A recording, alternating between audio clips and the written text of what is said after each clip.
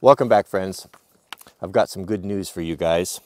Gränsfors Bruks has um, recently introduced a new axe um, that just may be the one that we've all been waiting for, just may be the perfect axe uh, that has been kind of missing from, well, from anyone's lineup.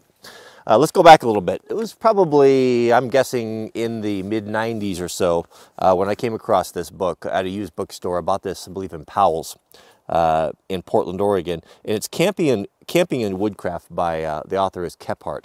And it is, uh, Mr. Kephart is all knowing uh, about traditional skills. Of course, I think this was published 1913, 1917, uh, and it reads very different than a lot of the um, survival information and things we see on YouTube right here.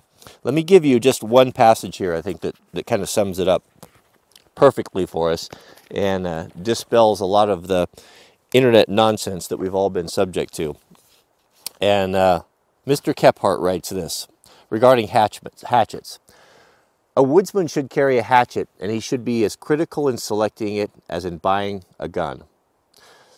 The notion that a heavy hunting knife can do the work of a hatchet is delusional. When it comes to cleaving carcasses, chopping kindling, blazing thick bark trees, driving tent pegs or trap stakes, and keeping up a bivouac fire, the knife never was made that will compare to a good tomahawk. And I agree. I get this is where uh, Nutnfancy and I will certainly part ways. He's been a big advocate of the large hunting survival knife. I've always said that it's compared to an axe, it's a joke and it's marketing nonsense. That's just my opinion. Interesting that he should say camping tomahawk, right? Because if we look at the new uh, Gränsfors Bruks, and this they're calling this the outdoor axe. I've actually refrained from from really looking at this closely. I put it away because I wanted to kind of uh, share my first impressions and that that whole experience with you guys uh, in real time here. Anyway, Mr. Mr. Kephart uh, says that the most important tool uh, that a man can have when engaging in uh, you know, traditional camp making, bushcrafting, is his rifle. that was that was the number one. He's dedicated a whole chapter uh, to just selecting the rifle and another one on marksmanship and all that. And speaking of rifles, there was a lot of question about mine, uh, the Mark 18. If you're interested in, in me covering this in detail, um, building it and putting it together, um, I'll show you how. I'll show you where the video is at the end of this uh, that you can go and watch that. Uh, hint, it's not on YouTube. So before we get to the axe, it's important to go through real quickly my collection of Gränsfors Bruks uh, axes because it kind of, uh, it will kind of highlight the, the, the missing, the missing link uh, in this collection that I've had and how I think this new one's going to fit it in. These are absolutely, I love Gränsfors Bruks axes. I, I'll make the argument that they make the finest axes in the world. I don't care. If you want to have a debate about it, we can set that up, but um, I, I don't care. I've had enough of them. I, I think they're the best. Um, this one here is really, it's, it's really charming. This is a, um, a hand hatchet. Um, of course, these all come with uh, the factory sheaths, which are nice sheaths. I, I didn't really dig them at, at, first. I thought that they weren't enough, but they, they've lasted and they're really well put together. They're nothing flashy. They're definitely a working man sheath. They're just a tool sheath, but they have um, vegetable tan leather. They have uh, copper or brass. I've seen them copper or brass uh, snaps. These are all copper. Uh, you can so you when you put your blade in there, they don't um, you don't mar the surface because the copper is copper is soft. They're very usable, and, and I think that they're quite actually I think that they're quite good. Look at that. This is this is one of the most this is in the probably in the top 10 of the things that I enjoy of my all my tools that I enjoy above all others. Uh, the small hand hatchet. I mean, it's just, it speaks for itself, doesn't it? It's uh, small enough to put in a pack. Um, it's got, it carries enough weight in the head where you can, you know, Brian summed it up yesterday. He said, I love this hatchet uh, for splitting kindling. Whenever he's splitting kindling, he's always looking for this one, uh, and I agree. Uh, the shape, the design, this the size of it is just excellent for those small jobs. It almost takes the place of a knife in, in many applications because you can choke up on it and you can work and do detailed things with it. Where it is lacking is it doesn't have enough handle on it to get a good, you know, you're not going to be cutting down any trees with this anytime soon. Uh, so that is kind of a severe a limitation. Uh, we'll, we'll say that. So the next, of course, to my line, and the one that I have used the most, this one I've had for nearly oh, nearly 20 years now, uh, is the uh, small forest axe.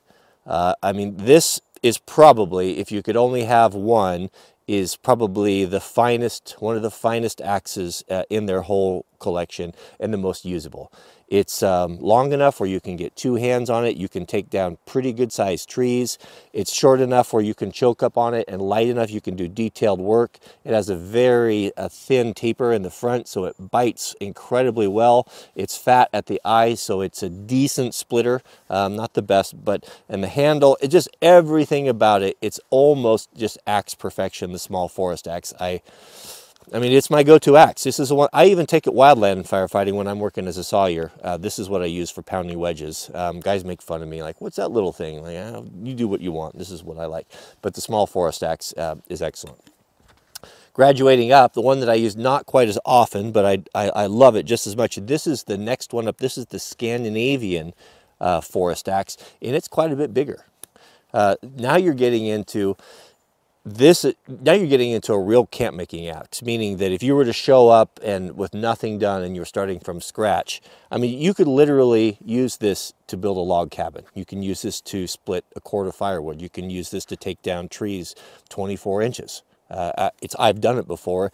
It's an excellent axe, but it starts getting a little bit big, a little heavy. It's not something that a guy wants to pack around too much. So what I have kind of found, and what I've always kind of been wanting, was something kind of in between if you were to like put these all in a pot you know and mix them up you know what, what would what would come out because what i was want is i want something that um, can basically take the place of these two essentially that's that's what it, really what it comes down to i need something with a longer handle um, but something that I could still carve and work with by hand, but some, but but not so long. I'm not throwing this in a pack. The handle's too long. It's just it's I've always been kind of wanting something right in the middle. Oh, this is here's what we have. Let's just take it in here for a minute.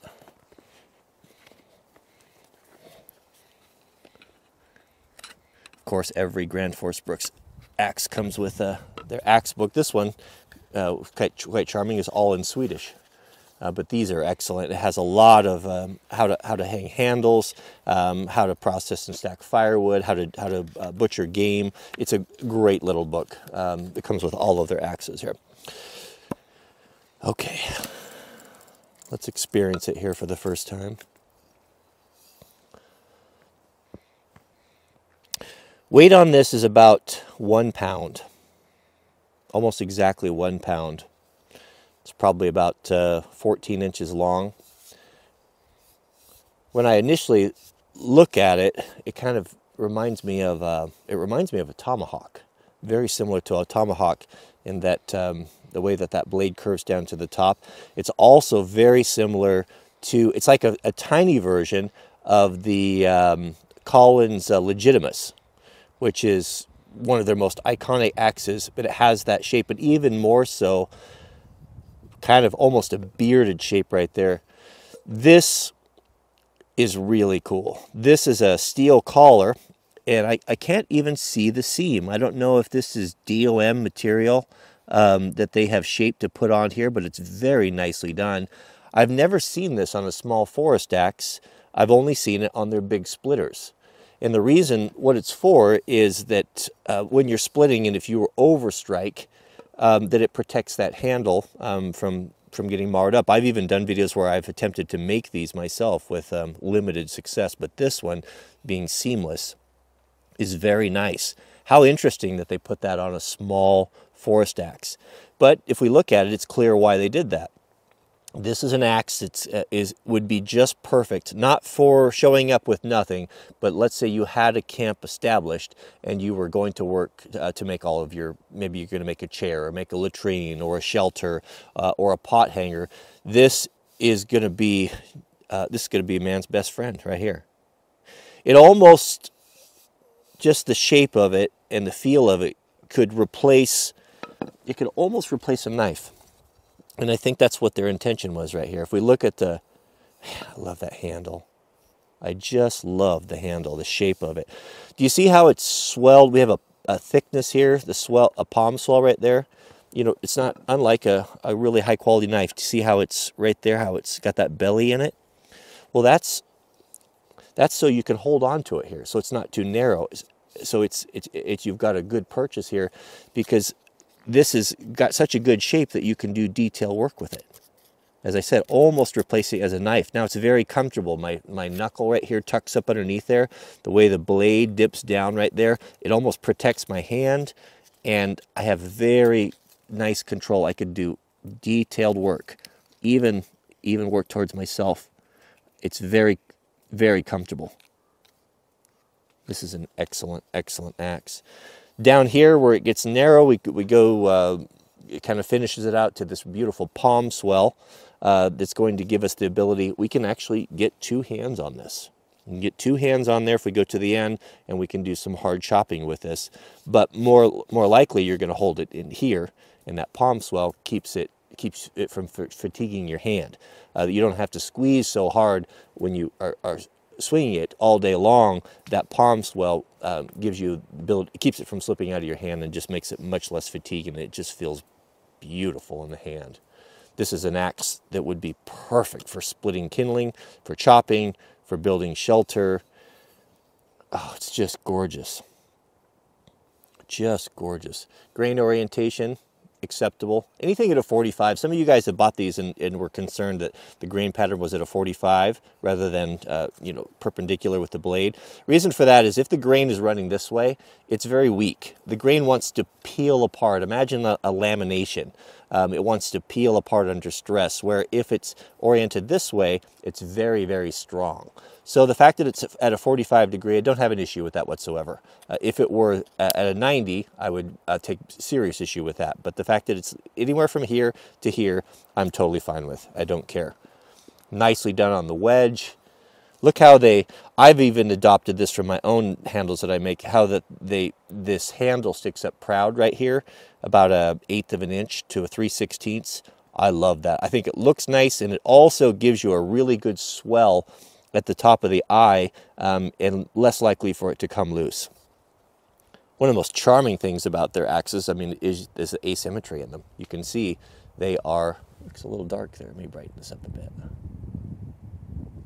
That's going the wrong way. There we go. They are asymmetrical and there are no two alike because they are uh, individually made. Um, even the craftsmen who make them, the smiths, whatever you want to call them, and there's a lot of automation, but the machinery that they use is, is turn of the century. They are truly forged, um, beautifully made axes. Each uh, guy will put his maker mark on there. I, I was looking at mine.